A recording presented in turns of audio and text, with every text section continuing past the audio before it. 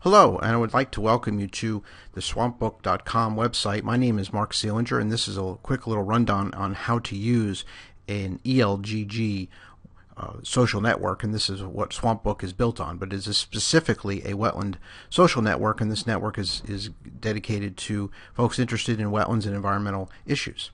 So first off, we're going to go to swampbook.com, and you'll see this little page when you get here, and you'll see login, and we're going to log in and this is going to take us to our entry page. Now if you're a new user you're given the option to register. So we're going to click on register and it's going to give you a display name. This is what you want to be called uh, your email address and this email address needs to be valid because we're going to be sending you a confirmation email to that address as soon as you register. A username a password and then they're just going to ask you to verify that again and then one of these little code things that, so that we can tell that you're not a bot and you just need to type that in and if you mess it up it'll make you do it over again and then you hit register and that's it. Now it may take a couple minutes for the email to show up. Sometimes email servers work really fast and you get them right away. Sometimes it takes 10 minutes. So and just be patient. It will it will come. So uh, at any rate that's your registration. Now once you're in the site we're going to go back. Now I've set up a little demonstration for you so this is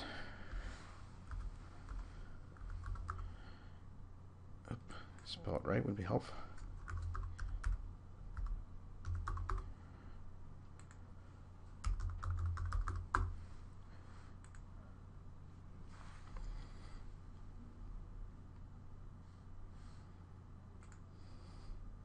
Okay, we've logged in.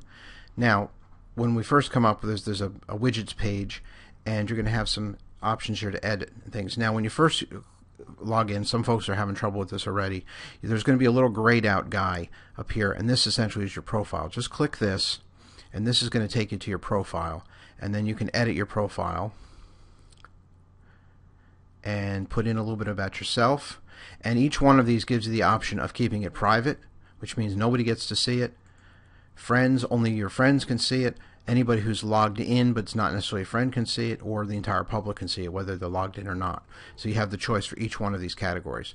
It does give you a little ability to put a little HTML code in here a brief description about yourself where you're located what your interests are skills again a contact email telephone number mobile phone website. All these things are optional. You don't have to put anything in if you don't want uh, but I will suggest, you know, the website, if you do host a blog or website, definitely let us know about it. And, you know, click that in at least to friends uh, for that one. So we want to we want to know about what you're doing.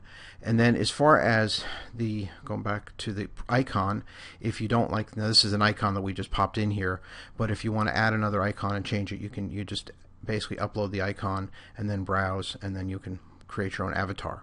So that's that stuff. Now, the tools the big thing that most folks like to use is what's called the wire. And if you're familiar with Twitter or Facebook, the equivalent in Twitter would just basically be the Twitter 140 uh, character post. Or in Facebook, this would be your wall. But essentially, this is where you would be posting whatever you're going to be talking about or whatever you're interested in, whatever's going on. And you're, depending upon your permissions, usually your your friends are the only ones that see this. You can see I have lots of friends. Mostly I've been posting here, but I've got some friends going on, and actually a couple folks even helping each other get themselves squared away on the the post. So that's very cool. There are other tools in here. You can have your own blog. So we, we click on blog, and you can set up your own blog. So you can write a blog post. You can add some stuff to it. So if we want to write a blog post, this is going to create your own blog. You give it a title and a blog text, and you're now a blogger. And you can also, again, set the permissions who wants to see it. So lots of cool stuff here. Uh, you can upload some certain files, bookmarks. You can bookmark things, and you can share those bookmarks with your friends. You're again the same issue here. We can put a bookmark on here, so I'll click this one. And if you want to add a bookmark, you click it, put the title in. This is the URL a description if you want, any tags, and again you can set your access permission. So each one of these is gives you a choice there. Now the dashboard itself it starts out blank and you can edit this and you're going to get this widget gallery. And these are all things that you can pick up and grab. So let's say I want to put the wire on my dashboard. So I'm going to put that over on the left side. And I want to know about a blog. I'll put that over here. And maybe an RSS feed or something that I might want to set up over there and I can put maybe some files in the middle. So let's drop that one in there. Hit save. And then when I go to my dashboard, that's what I'm going to see. So that sets up your dashboard. So you have your choice of whatever you want, want to put on there, and you can add. And we'll be adding more widgets as time goes on. The other thing that you can do is send emails to people that are within the group. You can uh, basically compose a message, click it on here, and then you just pick whoever your whoever this in this case the email would be sent to a friend. So this because I haven't made any friends yet, so we've got to. But you'd click on a friend, and you can send that directly to them. So you can send a direct message to them other things to any other tools you can have um, basically di- two different places either off the dashboard or off this uh, it's the same thing and then if you've got any settings you want to change you can always go back and this would be if you want to change your password if you want to change your email um, any of that kind of stuff you can you can throw that in there so those are the basics of it and when you're all done you just log out and you're good.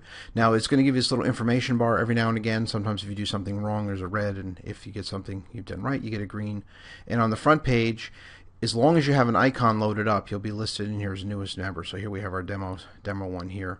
So your newest members are always on the front page, and then we put some stuff on on blog posts and things, and you can decide if you want people to see this.